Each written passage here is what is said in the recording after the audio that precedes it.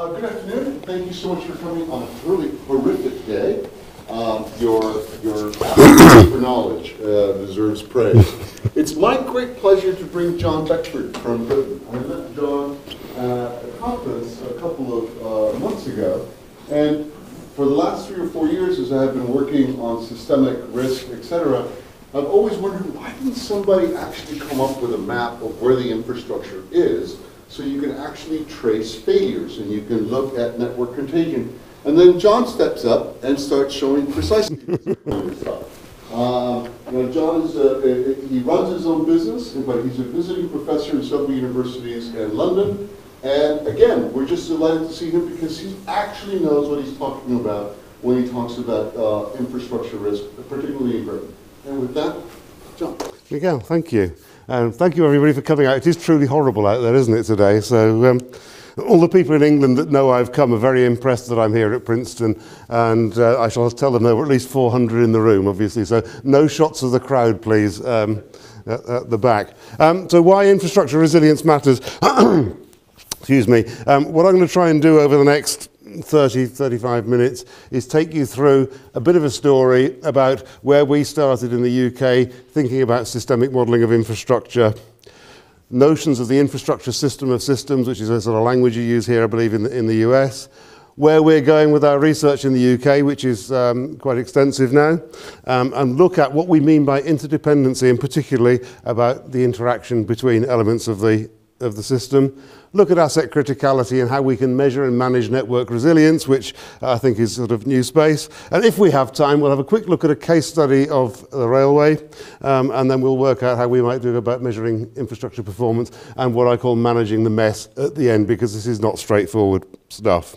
Um, and we'll start with this, which is why am I here today? How did I get here? Excuse me. So we're here at Princeton, and, and I started by getting a taxi here today.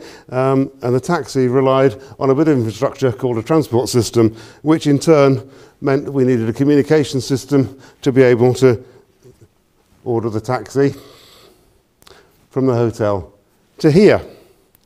So suddenly, within a couple of steps, we've got a transport system and a communication system. It's a marvellous picture of a badly wired server room there um, to make it possible to be here today. And then of course, had to do that to get here from the hotel. I had to get a train.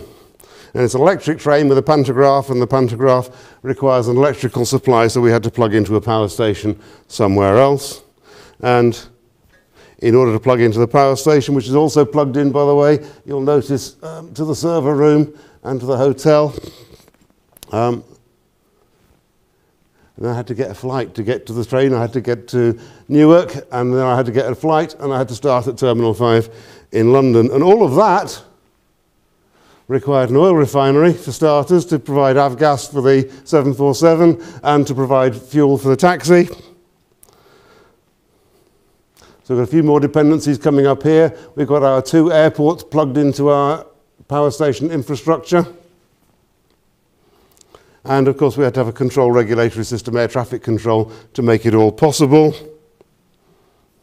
And all three parts of that part of the journey depended on that. And all of that started because of an event at the Royal Society in London about two and a half months ago, where uh, Miguel was there, and he'd done the whole journey backwards. He started at Princeton and ended up at the Royal Society, and that's where we met. And when you meet like that, you find that you have things in common. So we found we had Princeton, uh, Loughborough University, and University College London as institutions that are interested in thinking about and studying and understanding this stuff in the middle, the infrastructure that makes everything else we do possible. Um, so we plug those into the infrastructure. And then we have your parliament and ours exploring what's going on and wanting to understand this stuff because, frankly, they don't get re elected if they cock it up. So it's really important they get it right. And there, sitting in the middle, we've got transport, water, waste, ICT, and energy as the base level infrastructures that enable our modern societies to do what they do. Okay, so far, so good. So, we have to do some systemic modelling of this. And, and so to prove how important it is, they, you guys arranged this specially for me yesterday. Um, at about half past three, when I should have been well and truly through Newark Liberty International Airport and on the train to Princeton, um, I was still stood in the queue.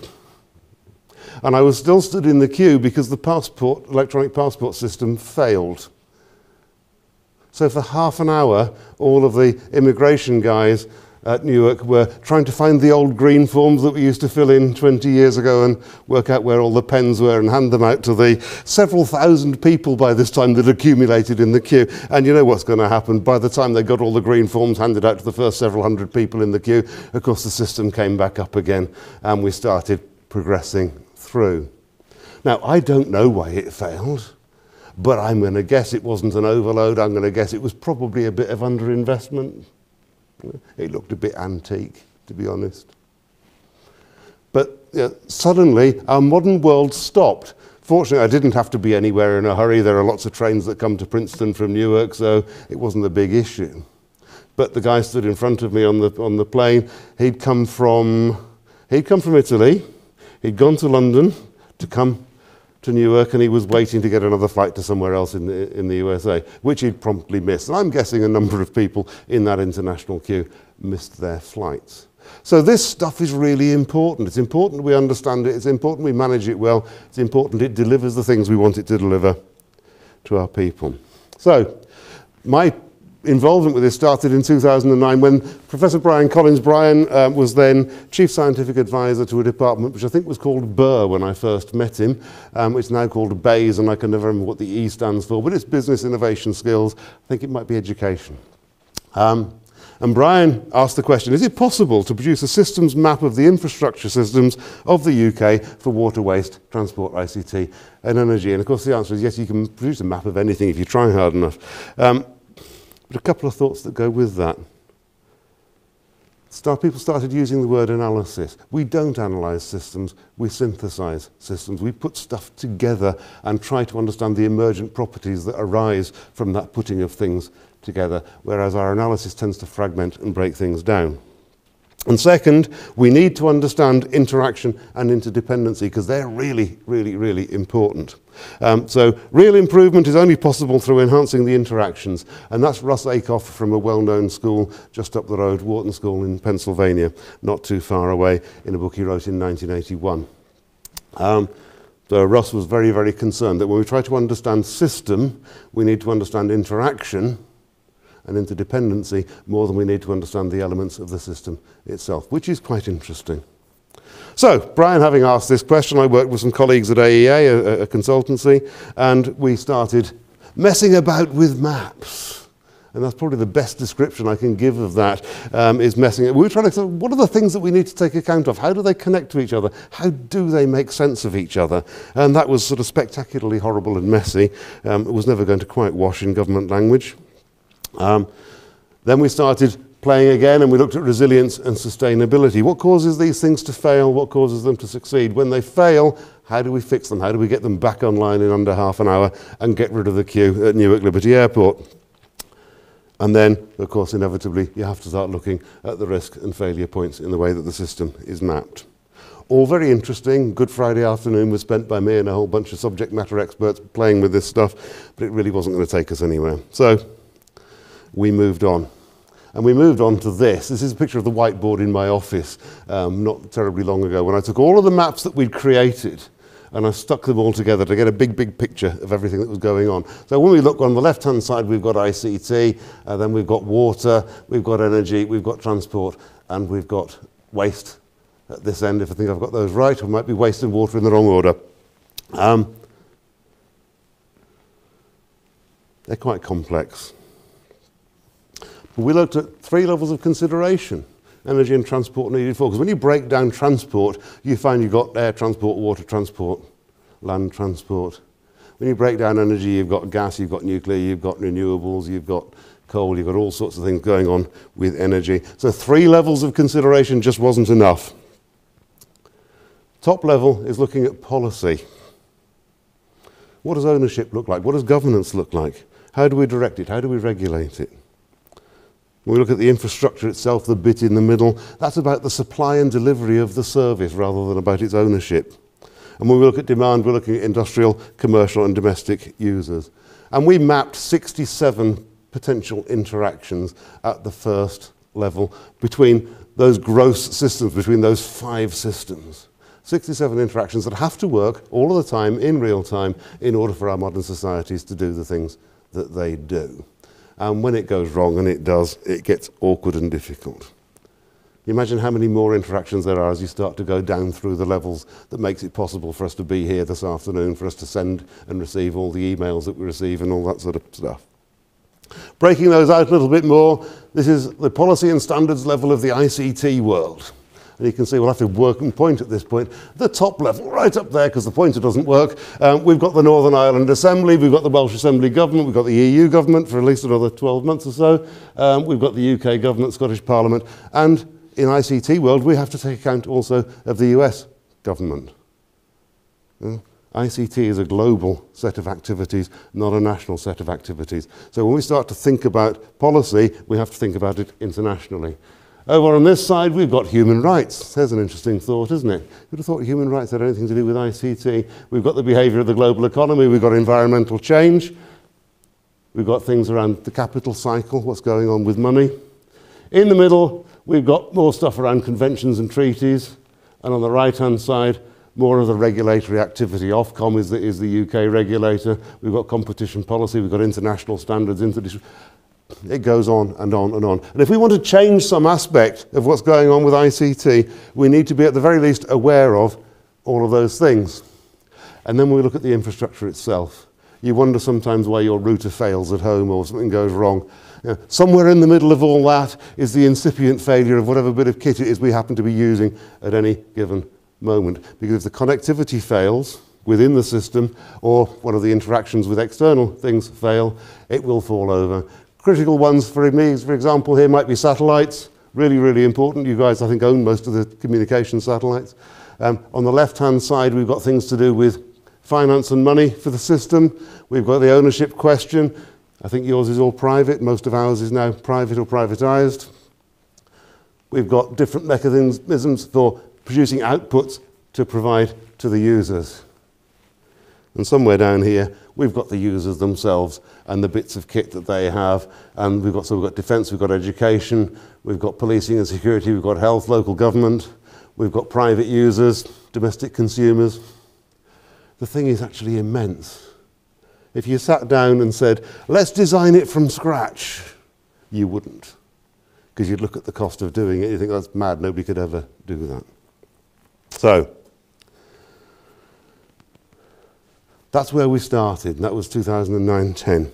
Where that led, in the short term, was to this. The, the Council for Science and Technology is the Prime Minister's scientific engineering think tank in the United Kingdom. It gets tasked with interesting questions that the Prime Minister of the day chooses to ask. And he then asked, at that stage, about what's our national infrastructure like? That fed into the budget at the time. It fed into the engineering and interdependency expert, expert group that we created not long afterwards, to what we now have as a National Infrastructure Plan, a National Infrastructure Commission charged with delivering the plan, to research projects, the first of which have finished. So ICIF was the one that Brian led at, at UCL, iBuild is I think based at Leeds and ITRC at Oxford, all looking at different aspects of the work that was going on. And we now have UKCRIC, the United Kingdom, I'll get this right, United Kingdom Collaboratorium for Research into Infrastructure and Cities.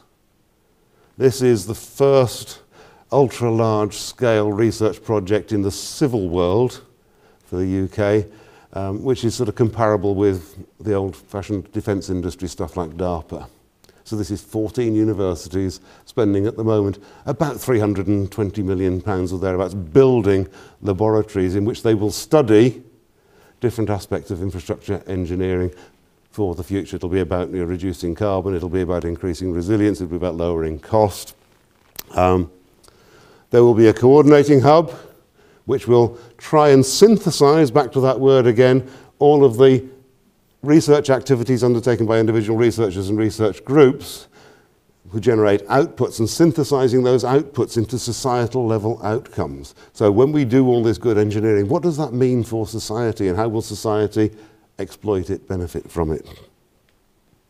And we'll have a knowledge hub. We are planning to build a system for, if you like, mechanizing, automating the sharing of the learning. So the results of the outputs of the research activity will be fed into an artificial intelligence engine at Loughborough, and that will help us to understand what's been achieved, what's yet to be achieved, and how those things are being converted. And those are sort of big, ambitious things to try and do. But we recognize that if we don't do it, then we continue to do individual localized research, solving localized or relatively localized problems, which might be interesting for the researcher, might it, and very often will be very useful in their own right, but will not be brought together at a national level and realize their real value.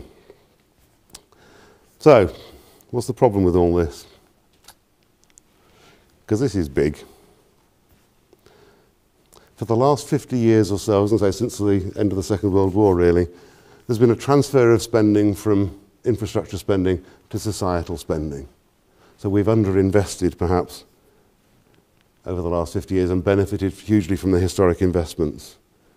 Most of our infrastructure in the UK is near capacity and we have to find different ways of managing it. Again, we couldn't afford to build it from scratch now. Some of the ways we've done things are no longer relevant or perhaps no longer work at all. Um, there might be limits to what we can do with what we've got, how much more we can use it. And there's an increasing risk of systemic chaos and disruption with wider impacts from things falling over. So you imagine if you, you take yesterday's incident at Newark, um, and I know you have lots of flights from lots of other places, but if your, your passport controls at capacity, suddenly somebody's saying, can we divert inbound international flights to other airports in North America? Because Newark is full temporarily. We do that in the UK quite a lot when Heathrow gets full, when it snows or whatever. And to, you know, Thayer was very kindly taking me around, giving me a quick guided tour of the university earlier, and I giggled quite a bit because it was talking about this old building that had been there nearly 10 years. Um, we have aging infrastructure. London Underground is 153 years old. Our first tube train ran 153 years ago. Uh, The London sewers, 1860 to 1875, there or thereabouts, designed for a city with a population of a million, now handling thick end of 10 million. Well, guess what? We need to invest because there's a lot of stuff to move around down there. We've got problems with congestion. Our cities are beyond their, I say, design capacity. They would have designed in the first place. Uh, and our resilience becomes questionable. We have potential for systemic cascade failure rooted in increasing, often unrecognised interdependence, especially on ICT. The extent to which we now rely on this ICT stuff without ever understanding it, how it works, how it fits together, and what the vulnerabilities are, is quite frightening. Um, December 2010, 400 infrastructure impairments, that means bits of infrastructure noticed at the national level falling over. Not just your local stuff, but actually significant enough to be picked up and, and, and reported on a national scale. Um, the grain dryers in Northumbria is a brilliant one. Um, we have a, an electric train set that runs up the east coast from London to Edinburgh, um, and it picks up power from overhead lines. And um, in the autumn, you can't run the trains at full speed and run the grain dryers for the farmers at full speed as well, because there isn't enough electricity in the grid. So what are we doing? We're buying more electric trains. Um, Snow on slip roads prevents food deliveries. Um, a food distribution depot, and there are many of them in the US, like I'm sure there are in the UK. Um, the motorway, just up the road, you could see the motorway and all the traffic's flowing freely because people have been through and they've cleared the snow. And the local authority has cleared the snow to get the kids to school and people to work. And there's this half mile stretch of road between the food distribution depot and the motorway that nobody regards as a strategic highway. So no food getting delivered into the supermarkets across the south of England because nobody was responsible for clearing that bit of road. In London, the local authorities cleared the main routes through London as they do so efficiently. And all the bus garages are about sort of 50 yards to the side down a bit of a driveway. But they weren't the responsibility of the local authority to clear. They're still a public road, but they're not regarded as strategic routes. So the buses are stuck in the garage, 50 yards of snow to get them out. Um, It would be maddening if it wasn't funny. And the failure of IT, uh, ICT, 50k fine for polluting uh, a devastated river. Um, that was a lovely bit of interaction with a water company who had a, a sewer outfall, like that they were supposed to manage, monitor the water quality in, and the pump that ran and, and pumped was operated from mains electricity, um, but the control system was operated on a separate electric loop. So when the control system failed and it defaulted to on, not off, the pump continued pumping polluted water out into the river and the control system wasn't telling anybody, anybody it was happening. Because the control is done remotely using a mobile phone signal, and I believe a mast had gone down. So the system carried on polluting the world. And here's some, yeah, some good pictures for us. 2010, it's a bridge failure at Cockermouth where sadly a policeman lost his life. Um, floods around Gloucester, that's uh, southwest England. The overhead line failures we've talked about quite a lot. There's a lot of those. Uh, landslip at a colliery and uh, snow stopping the traffic in Scotland. These are average responses to not particularly extreme weather conditions. Yeah, it was a lot of rain, when it flooded, over a period of time, it didn't drain away. Um, we've improved things a lot since then. There will be other bridge failures. It's inevitable. There will be other bridge failures. There are thousands of bridges. We don't even know how many we've got, let alone where they all are or necessarily what condition they're in. Um, one of our politicians, you probably can't read that at the top. Um, the rail system's a bit of a nightmare, says senior civil servant. Well, do something about it, senior civil servant. Um, we have a peculiar railway in the UK with it, a bit of it owned and operated in effect by the state through Network Rail, um, and the train services themselves provided by privatised train operators. So there's a gap in the middle at the, at the railhead where the wheel touches the rail. There's a responsibility issue sitting in that space. And I'm pleased to say it's not just us. Uh, this is in the paper this morning. Amtrak under fire over Penn derailments, where people are having to get ferries to work apparently because the trains are not, are not working. So there's a maintenance issue of some sort. So, where are we going? We have a pipeline of about 500 billion pounds worth of projects to deliver over the next umpteen years. It won't be overnight, obviously.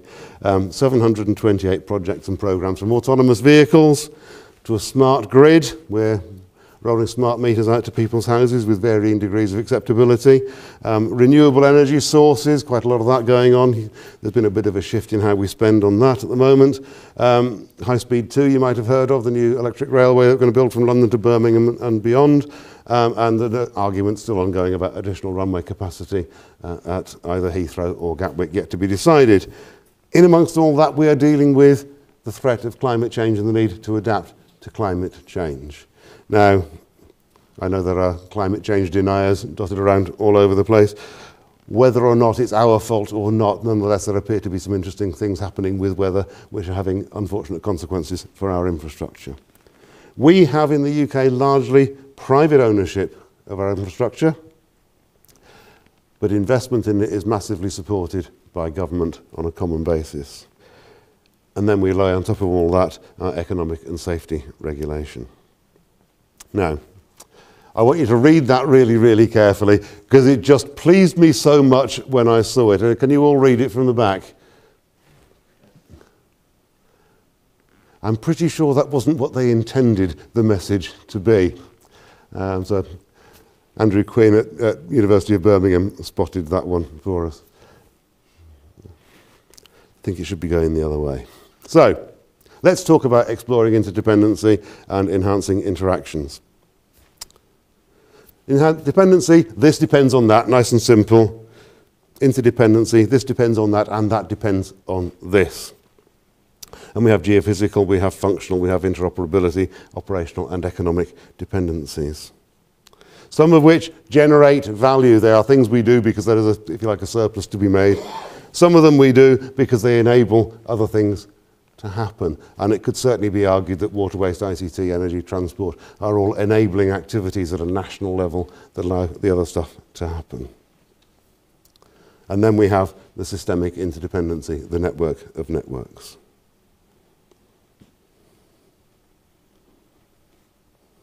the buttons work the wrong way up on this. It's me. Okay. We tend to pursue efficiency. Where we tend to get driven. But pursuing short run efficiency can often embed long term effectiveness risks. Because what we do is we neglect the stuff, the big stuff, because in the short term it's expedient to not worry about it. And the classic is obviously the maintenance of the infrastructure. We'll leave it another year before we tackle it. System availability is codependent. Either it all works or none of it works. The railway is a perfect example of that. You have to have the energy supply and the vehicles and the people and the rails and the signalling system and somebody to control the signalling system before you can actually run a train. It either all works or none of it works. One component missing stops the whole railway. Remember those? Sure you do. Every one of those failures can be seen as being driven by the pursuit of short run efficiency. A little bit of not my problem. Okay. So every asset, there's an asset, doesn't matter what it is, doesn't matter what it does, sits at the middle of a network. It has a performance attribute, something we want it to do for us, and it's in a place with a specification, with a cost, with a maintenance regime, with a maintenance cost. And that's really sort of quite important. And it sits at the heart of a network, or two networks.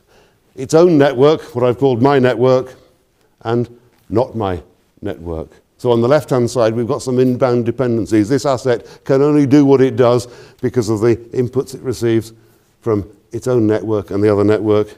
And it generates outputs, of course, into not my network and my network as well. To do what it does, it has to fulfill a purpose. And that purpose is expressed usually through a business model and has to take account of at least weather and climate impacts. And I draw a separation there. Weather is what's happening today. It's raining heavily. Climate is the longer term stuff that that asset has to deal with. And of course, if that asset's going to be purposeful, then it needs to sit in a sense of what the public want it to do, because ultimately that's who matters. And that's then governed and regulated, usually back articulated through the business model. Okay, so far. So there's our poor little asset. It's a water pump. It's a switching device of some sort. That's where it's sitting. It doesn't know that, by the way, because they're all quite dumb. So what we have down here is a whole bunch of operational dependencies, and it goes wrong usually when we fail to do that, or if we buy the wrong one because the specification is wrong. Then we have inter-network operational interdependency. This is harder. This is the one where you say to somebody, so how do you manage that risk? Because there's some risk people in the room and they say, ah, yeah, well, we've dealt with that. How have you dealt with it? We've insured it. What do you mean you've insured it? Well, we buy it from Fred and Fred will compensate us if it goes wrong. Now, that's not quite the same as having it continue to work. Solving the who pays doesn't necessarily solve the who dies problem that might be associated with it. Then, of course, we have to have a strategic interdependency that sits on top of that, which deals with this business model type stuff. Why would you bother?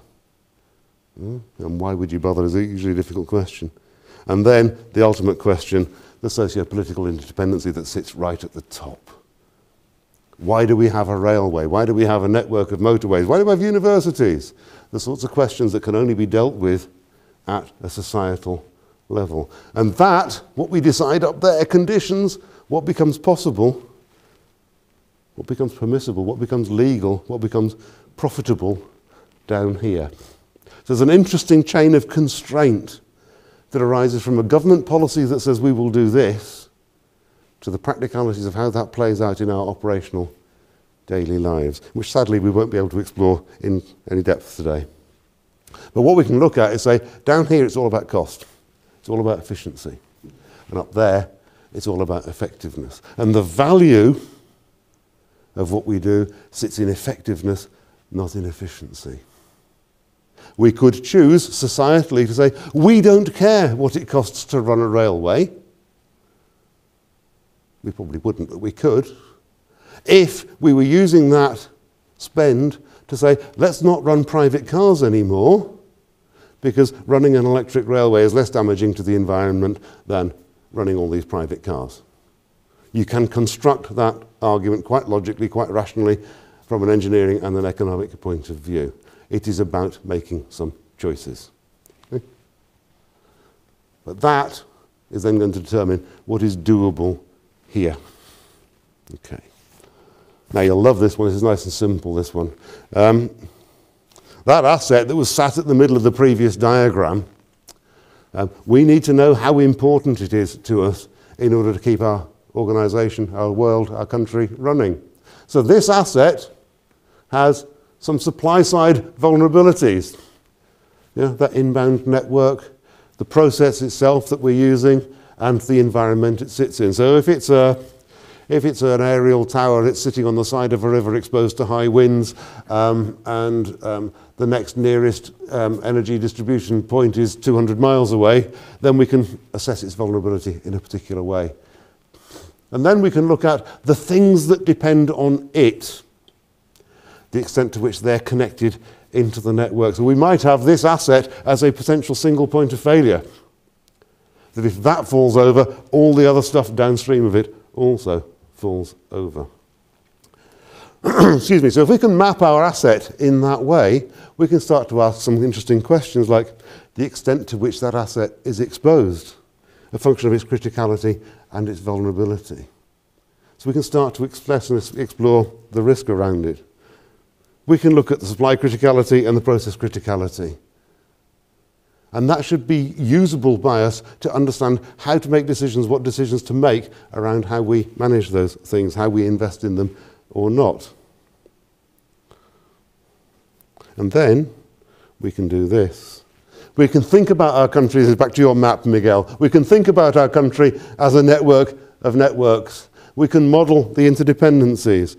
We can model how failure propagates across individual networks, the gas network in the UK, or the gas and electric network. So we could look at how does a failure propagate across roads and railways, depending what we decide to hit them with. We can represent it graphically because people like pictures, they're much easier than words to deal with. And that can tell us things about how our population is affected. So in this particular example, this runs on a, on a database put together by my colleague Peter Dudley. Um, in this particular case, he decided to literally blow up a gas terminal so where gas came into the, into the UK. What happens if we cause that gas terminal to stop producing gas? We had to make a few assumptions. But this is how failure then propagates across the UK. So you could sort of say, well, you know, up there in Scotland there aren't terribly many people, but it's a bit of an issue. If it was all, oh look, it is all red down here. When it gets red and you're in London, you've got lots and lots of people affected. Probably roughly where that red point there is, is bang in the middle of London. So suddenly Westminster has no gas to run its heating systems with. The politicians will sit up and take notice when they get cold um, or damp or whatever. Six cycles of failure, six steps of failure through this. From Scotland, put the lights out in Cheltenham, which is about here. Okay? And those failures happen because things trip over things get overloaded and fail, and the domino effect runs through. Now, our networks at the moment are push networks. Our electrical grid generates power in big power stations and pushes it out through high voltage networks to low voltage networks to houses. And it does it in parallel. So if half of it falls over, the other half is sort of okay. But I've got solar panels on my roof at home and I push electricity back to the grid. And the grid wasn't originally designed to deal with that. But that's where we're going to go over the next half a generation, probably. So we have to deal, work, work out how to deal with a grid that, that, that sucks as well as blows. And that's a completely different animal from a network point of view, much more like a communications network than a traditional power network. If we can identify the affected populations, then our politicians can decide whether they care or not. That's sort of probably quite important. Um, but we can develop a sort of vulnerability and criticality index. We can understand where to put our money where to place our bets to minimize risk to the greatest part of the population or to the most exposed part of the population or some blend of the two. We know where we can fail. We know how to take mitigating action. And we know where investment will give us the most benefit. In the railways, so the TRaCCA case study, we applied this thinking to the railway in a project called TRaCCA, Tomorrow's Railway and Climate Change Adaptation. What does the UK rail industry need to do to ensure the delivery of service to passengers and goods in the future? This work was sponsored by Network Rail and RSSB in the UK and delivered primarily by Arup, whom I'm sure you've heard. so what we can say is, up to this point, we can be reasonably confident about what we think will happen to the climate in the UK over the next 30 years. So we have a sort of decision point there. After that, could go a number of ways. In that space, we've got a very short-term, 18-month cycle of life of a timetable. These are things that are, you know, 18 months is about now in the railway. But we then have five-year control periods where the government provides funding for particularly asset management, asset investment in five-year blocks, and our strategic horizon for 30 years, and then beyond. And let's face it, most large-scale railway assets will have at least a 60-year, very often 100, 120-year life. So we can adopt different ways of managing the assets from break fix in the very short term to condition based and time based, given that we've got the information to manage those things because we've got more or less predictable conditions and we've got some knowledge about asset performance and some knowledge about the railway standards that we need to adhere to. By doing that, we can also take account of the external dependencies. So we run a lot of electric trains, some are third rail, some are overhead line, so they need a big electricity supply. Some are diesel trains, some are mixed, and just occasionally we still run a steam train once in a while, mainly for fun, but there are some commercial ones still out there. But we also got flood risk around the railway. Again, we've got a railway that's the thick end of 200 years old, and we actually don't know what underpins some of the embankments, if anything, on which the railway runs. There's a whole bunch of maintenance questions around that we need to be able to deal with. So we need to have a technical strategy. We need to understand what it is we're trying to achieve in the long term we need to make sure, critical, that we have the skills and knowledge to achieve them with. A bit that often gets forgotten. And we need to feed all of that back into the standards which feed then back down into the three different maintenance strategies. When we do that, we can do this, which I quite like. We measure performance of the railway by the number of delay minutes imparted to passengers. So that's the number of passengers times the number of minutes that the train is waiting because of some sort of failure. And we allocate that a cost. So if we can sort of work out what that costs, we can work out what it's worth to fix it. And the whole point of a railway is the journey. So if the journey is not complete, then the, the thing doesn't work. So what we can do is by investing appropriately in the strategy, we can reduce the number of delay minutes and increase the journey availability. At some point, economists will be very pleased to see there's a crossover point where by investing in the asset, by maintaining it at a higher level, the reduction in delay minutes is more than outweighed by the additional revenues that we will generate by running more trains. So here is your argument for investment in your infrastructure. There is a payback. And that payback is measured directly in financial terms, but also in societal benefit, which we ought to be able to find an economic proxy for. What this means is that when we're thinking about our asset management strategy, whether it's the railway or anything else, we need to be thinking about that 30 year view. We need to be able to go, so if we spent a bit more today on that, what would the payback be? Could we take a project which is you know, due to happen here, let's say, in the second control period, and today, for whatever reason, because of the weather, because of the rain, it breaks, it falls over. I don't know what it's like here in the UK, our tendency is to restore that to the condition it should have been in with a typical lifetime that says, actually, if it was going to, going to restore it in 2025, let's put it back so that it's fit till 2025 when we're going to restore it anyway. Whereas maybe what we ought to do is say, let's take a 30-year view of that asset in the light of context of the climate change horizons.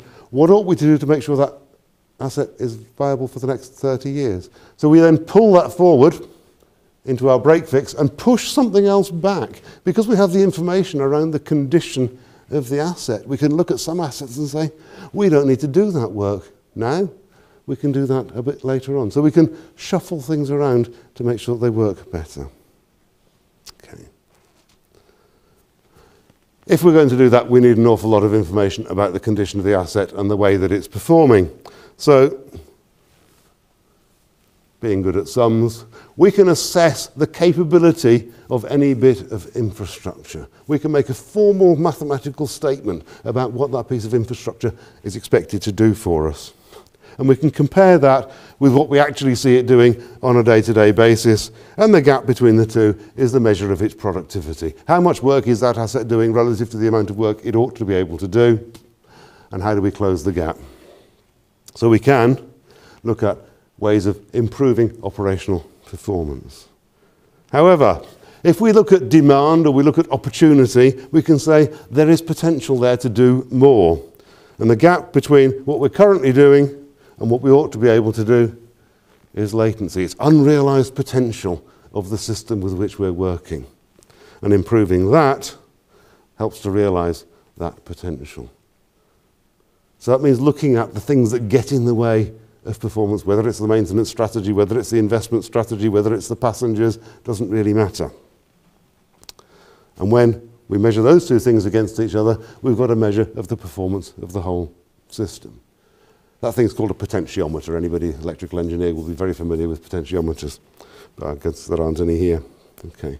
So what we need to do then is take a whole bunch of measures of performance, and Miguel has seen this particular diagram before, that says, let's look at performance from a whole bunch of different actors that are involved in the system, the, the, regulators, the profit margin, the customers, the employees, the processes themselves, wider society, the people who invest in the system.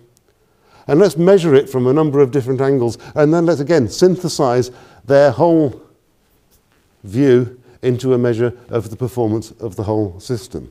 And when we do that, we can compare what it does with what we said we wanted it to do, its espoused purpose, and we can measure the gap again between what we're getting and what we wanted. And that's the basis at the socio-political level for us being able to say, and we want it to do more. So each one of those blobs is, of course, a little potentiometer in its own right, just for completeness. Then we can bolt them together. So we can choose to take, excuse me, whichever dimensions of performance we've decided are important, and I've chosen here economic performance, resilience, and carbon impact. Those are three things that we're particularly concerned with on our railway. And we can join them together into a measure of overall performance, and we say limited by the worst performing element. Um, and you might say, well, what on earth does that look like? Well, we'll come to that in a minute because I've got some sums for you just shortly coming up. Okay. Does that make sense so far? I hope it does. Eh? I don't expect you to memorize these. The slides will be available. Thayer's got them. We'll distribute them to anybody that wants them, I'm sure. When we look at an organization, any organization, we're interested in the extent to which it fulfills the purpose for which it exists. There's a sort of teleological argument that we can have some other time over several beers, probably, um, around the notion, the notion of purposeful organisations. Today perhaps isn't the day. But within that, it has to do two things. It has to enable value, provide the infrastructure, and it has to generate value, the things that it does, in order to generate its existence. And sitting in the middle of all that is this lovely stuff called information. Okay, information is what allows us to bind the organisation together. And in order for it to be managed, it's got to be able to do three things in real time simultaneously. And they are these. It's got to nurture its identity. We've got to know what the organization is for. And when I say we, I mean whether it's the chief executive and the board, or whether it's the people that clean the floors or in the toilets or do the other work of the organization. It doesn't matter. They have to understand why the organization exists, what it is that it is trying to achieve. At the same time, they have to create the future of the organisation. They have to recognise that doing what it does today and what it does tomorrow may be different things, so those have to be managed. And it has to manage its present, it has to deliver the things it's already committed to. And it has to synthesise that into a coherent whole. It's called the trialogue. This was invented by a colleague of mine, Peter Dudley. Um, part of his PhD quite a few years ago. Um, and it's a really powerful way of thinking about the, the top-end governance of organisations. When we've got all that, we can do this. We can manage the mess. And this is, again, a little bit complicated, but what it's effectively saying is we're not solving a problem permanently fixed and forever. We start at the left-hand side and we identify the problem we're trying to solve, the challenge, and we iterate through a series of improvement steps which are effectively pursuing the problem because the nature of the problem will change over time. So what we actually have to do is start to learn to manage our organisation quite dynamically. Okay? Down at the bottom here it says applied systems methods.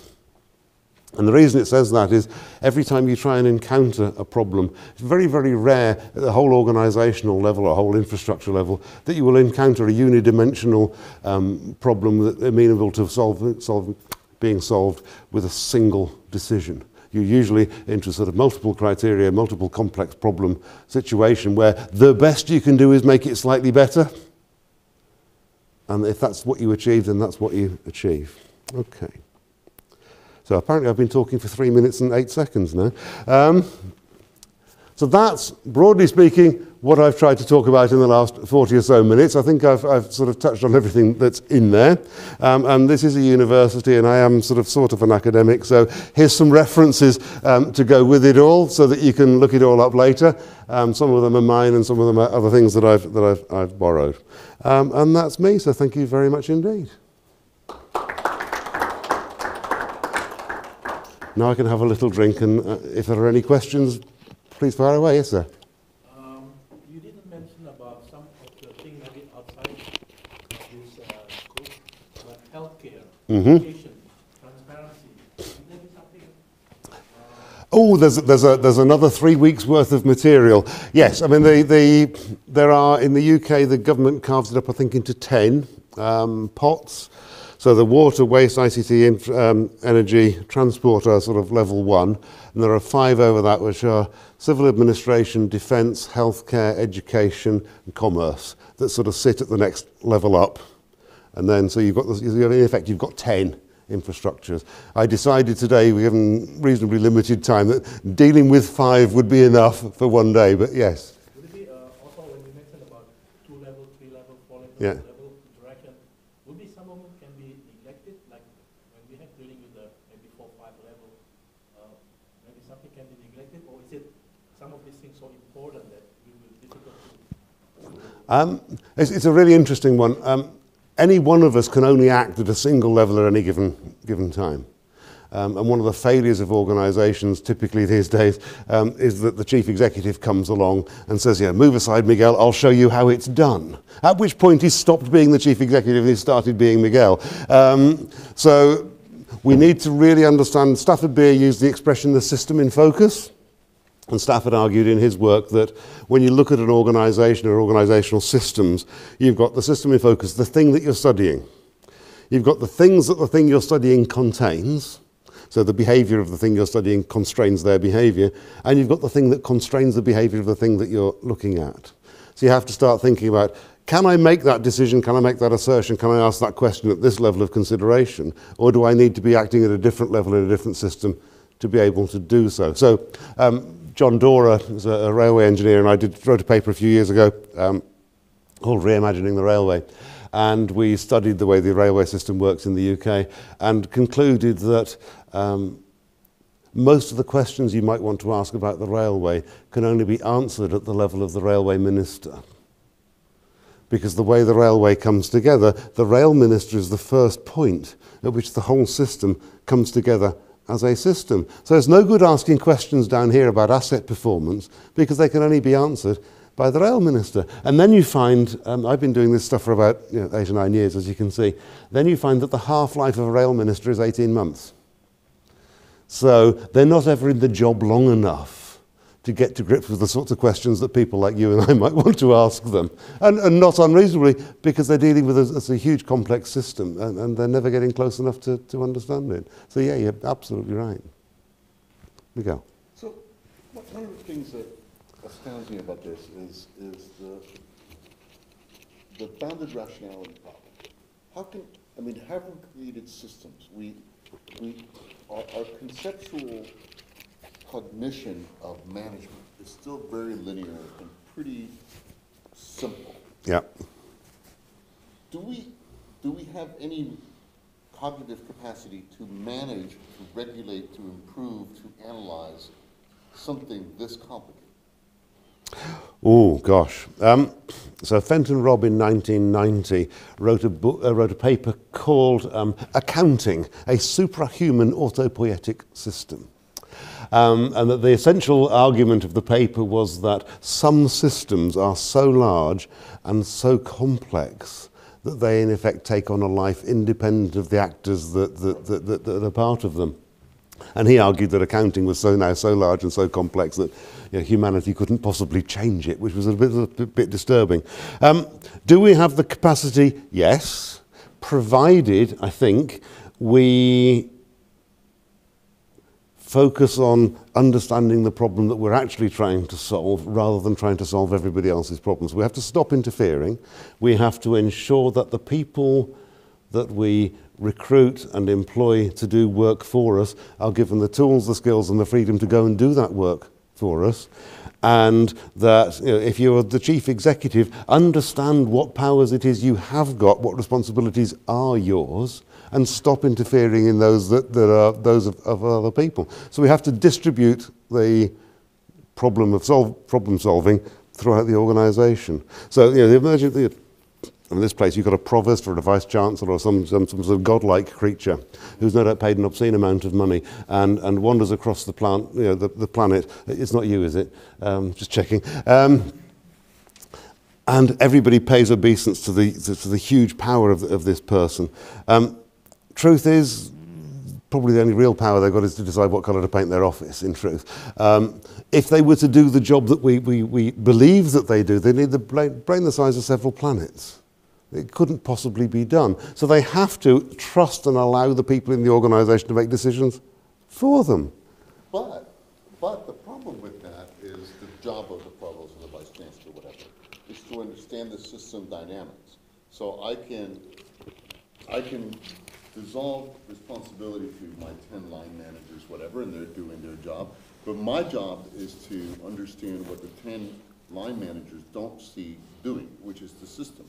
But if I don't have the cognitive capacity to do that, what, I mean, it's, Um, so, so, so if you think of an organisation as a recursive structure, Right. okay, um, then embedded in the, the in the, the sort of level one recursion that is the university as a whole might be faculties or schools or departments or whatever your next level form of, of organisation is, and the, the so the vice chancellor, the provost needs to sit in his or her office and sort of say, yeah, I've asked Fred to run that, and I've I've thought carefully about the performance characteristics of that unit that I think are important to me. And it doesn't matter what they are. But there's a set of performance characteristics. As long as the person appointed to do the job is delivering according to the performance characteristics, the Vice Chancellor or the Provost shouldn't be asking any other questions. They shouldn't have to come down and know the detail of, of the individual unit. Okay, and, and I'll be quiet. But what if you start hap, what if starts happening that in order to operate unit one, you actually have to make decisions that affect unit three? And you are paying for the success of unit one with some hidden cost to unit three. The, the example is, uh, I get compensated for enrollment in my division, so I start taking enrollment away from another division. Uh, Yeah. and You can imagine that problem just twenty-five, so is, is it possible to have somebody who actually understands this flow? Um, I think it's possible to have somebody that understands that the problem exists. I think a wise leader, um, as opposed to a wise manager, uh, would bring into the room then the parties to that problem and help them to understand it in order that he can get out of their way and let them solve it. In other words, he would create some form of coordinating mechanism or conversation that allows them to resolve it between them rather than him having to solve it for them. Because if he solves it for them, then he's behaving in an autocratic, dictatorial manner. Um, whereas if he allows them to solve it for themselves, they will find it may be a sort of satisfying solution, but they will find some way of working their way through the mess. Whereas if he decides for them, then inevitably he's favouring one or he's favouring the other, so he's on a hiding to nothing anyway, isn't he? Yeah. So, so is the key to all this almost satisficing as opposed to optimizing? Um, I'm not sure satisficing is, it, it might be the least worst thing that you can do. Okay. Yeah? Any more? Yes, sir. A young person, so you must be a student. I am a student. majoring in systems. Shall I, Created his own shall I leave now? Um, I'm wondering, has anyone looked into modularizing some of the systems you're looking at, or are they too interconnected that that would be, that that would reduce the? Oh, gosh, um, I was, I'm reading a book called, um, what's it called? Think Like an Engineer at the moment. Can't remember the, the author's name. Quite interesting. Um, and he talks about modular systems um, quite a lot. Um, yes, it has been done, and yes, it can be done. The sort of systems engineering world, the NCOSI definition of system would sort of deal with that quite nicely. Um, part of the problem is, is in the interaction is where you get the emergent properties. So we can take an aircraft and take an airframe. I came on a Boeing 777, so we'll take a Boeing 777 and we'll park it at the end of the runway at Newark and we'll wait. And it will sit there forever going nowhere, okay? Until we take another modular system called an engine and we bolt it into the airframe and we set fire to the fuel inside it. Okay? The interaction of the airframe with the propulsion system will cause the thing with the driver to fly. Okay? Neither of those things will fly on its own. So we have to understand where modularizing causes us to lose an effect. Okay? So I'm a, I'm a father. I have, I have two, two sons of whom I'm inordinately proud. Um, when they were babies, I didn't really understand how they worked. Know, when you've got kids, they're, they're very small and they're squidgy and noisy and smelly usually. Um, and of course, you know, I like to take stuff apart to find out how it works. You can't do that with kids. You have to deal with the whole system. Okay, you can't easily modular. And one of the problems with medicine is that doctors modularize the system. So I deal, in, I deal with kidneys and you deal with liver and he deals with lungs and she deals with heart. And you know, which bit of the patient am I going to work on? Well, you're always working on the whole patient. You may be dealing with a problem in a particular technical bit of it, but you've got to deal with the whole patient. It's no good, you know, uh, the doctors say the, the, the, the operation was a complete success, the patient died. Um, you know, it doesn't help.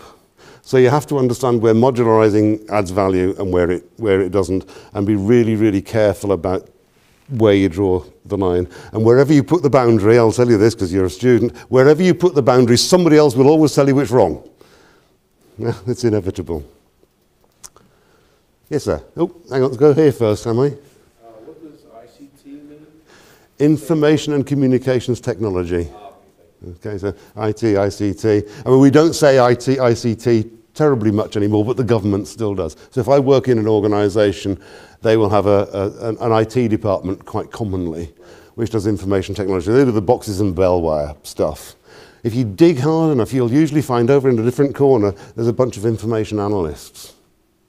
And they're doing the information bit, whereas the other guys are doing the technology bit. It's really only in government circles we still have sort of bolt ICT into, into one space now. Yes, sir. You're evaluating the system of UK, where there, there are a lot of history, a lot of uh, Yeah. closeness in the location. Uh, what about if something else different? For example, I'm looking at Indonesia. Yeah. It's very, very isolated. Many of the 17,000 islands, Yeah. uh,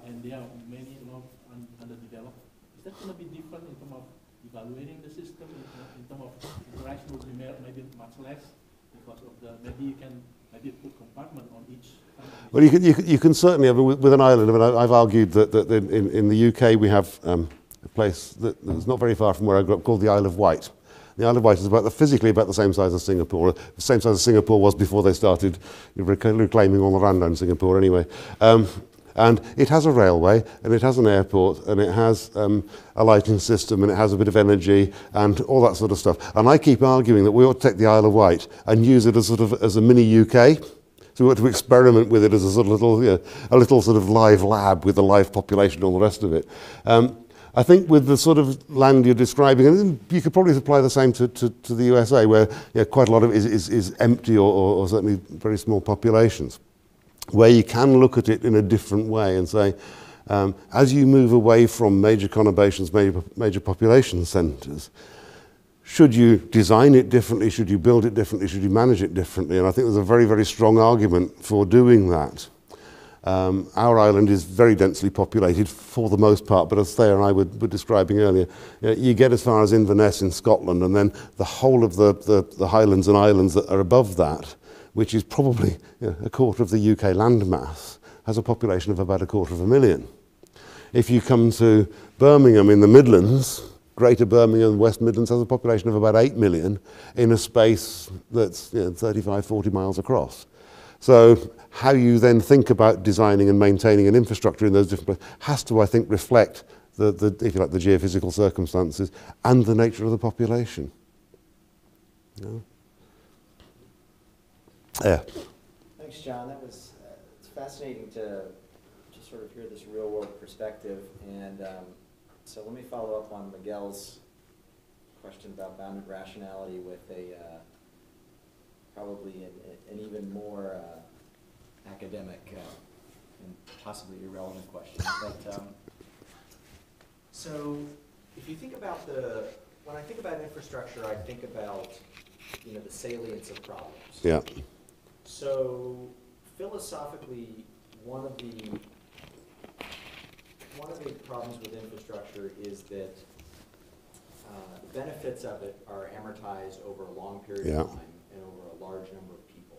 So at any one moment, each, each person, each voter, if you will, Yeah. to, to bring it back to sort of accountability to the politicians, each voter thinks very little about the benefits Yeah. they're getting.